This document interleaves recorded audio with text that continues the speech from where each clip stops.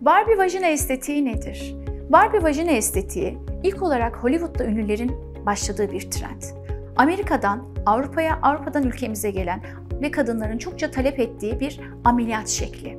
Barbie vajinada aslında amaç Barbie bebeğe görünmeye benzemekle beraber İçin altyapısını incelediğimizde bozulan, deforme olan vajinanın anatomik ve fonksiyonel olarak eski haline getirilmesi, kendini beğenmeyen veya beğenilme endişesi taşıyan kadınların dış genital sisteminin Barbie bebek gibi görünerek kendi açılarından özgüven kazandıkları bir estetik operasyondur.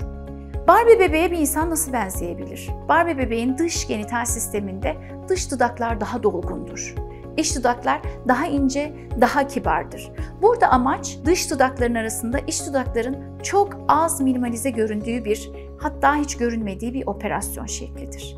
İç dudakları tamamen almayı biz kadın doğum uzmanları olarak çok sıcak bakmıyoruz. Çünkü iç dudakları aldığımız zaman vajina açık hale gelecektir. Bu da size enfeksiyona zemin hazırlar hale getirir. Amaç dış anlamda hem güzel görünmek hem de fonksiyonel anlamda daha işlevsel olarak vajinamızı kullanabilmek.